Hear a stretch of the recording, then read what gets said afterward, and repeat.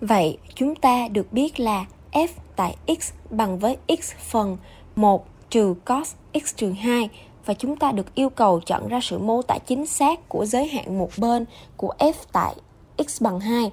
Và chúng ta thấy là ngay tại x bằng 2, nếu ta thử đánh giá f tại 2, ta sẽ có được là 2 phần 1 trừ cos 2 trừ 2 là bằng với cos 0. Và cos 0 là bằng 1. Và 1 trừ 1 là bằng 0. Vậy là hàm số không xác định tại x bằng 2.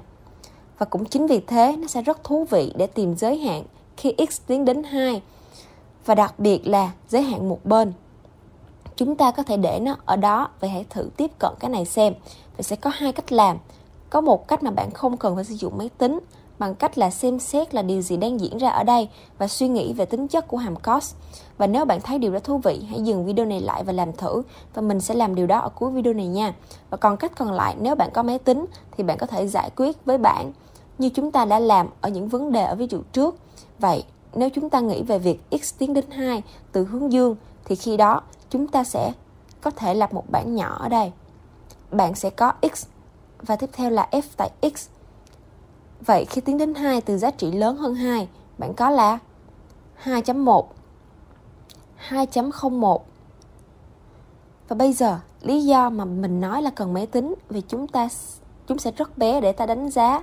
Nó có thể là 2.1 chia cho 1 trừ cos của 2.1 trừ 2 là 0.1. Mình không biết cos của 0.1 là gì nếu không có máy tính. Mình biết là cos không là một, vậy thì cái này nó sẽ rất gần với một, nhưng không chạm đến một, và nó sẽ nhỏ hơn một Cos sẽ không bao giờ lớn hơn một Hàm cos bị giới hạn giữa âm 1 sẽ nhỏ hơn cos x. Mình sẽ chỉ viết x, và sau đó mình không cần dấu ngoặc đơn nữa. Cái này sẽ nhỏ hơn một Hàm cos sẽ dao động giữa hai giá trị này. Vậy cái này sẽ tiến đến 1 nhưng nó sẽ nhỏ hơn 1. Nó không thể nào lớn hơn 1. Và đó thực sự là một gợi ý tốt cho cách bạn khám phá về cấu trúc ở đây. Và sau đó bạn có thể nói là được rồi, 2.01 nó sẽ là 2.01 chia cho 1 trừ cho cos của 0.01 và cái này nó sẽ tiến gần hơn đến 1 nhưng sẽ không trở thành 1 và luôn luôn nhỏ hơn 1. Không cần biết ở tình huống nào, cos của cái gì đó sẽ luôn nằm ở giữa âm 1 và 1. Và nó có thể bao gồm cả những cái này nữa, nhưng vì chúng ta đang tiến đến 2. Cái này thì đang tiến đến 1. Mình đoán là bạn có thể nói nó tiến đến 1 từ bên dưới Vậy bạn có thể bắt đầu sử dụng trực giác ở đây nếu nó tiến đến một từ bên dưới. Thì cái này, nguyên cái biểu thức này sẽ dương. Và khi chúng ta tiến đến x bằng 2, và tử số của nó là dương.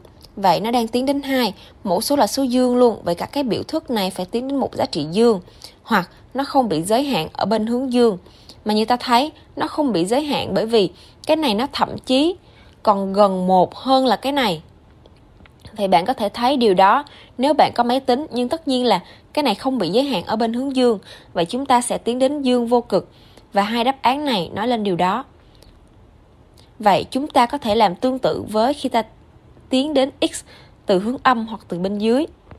Khi ta tiến đến 2 từ bên dưới, vậy đây là x và đây là f tại x. Một lần nữa, mình không có máy tính ở đây. Bạn có thể đánh giá những cái này bằng máy tính và hiểu rõ hơn chúng là số dương. Và khi chúng tiến gần hơn, chúng sẽ trở thành những giá trị dương lớn hơn.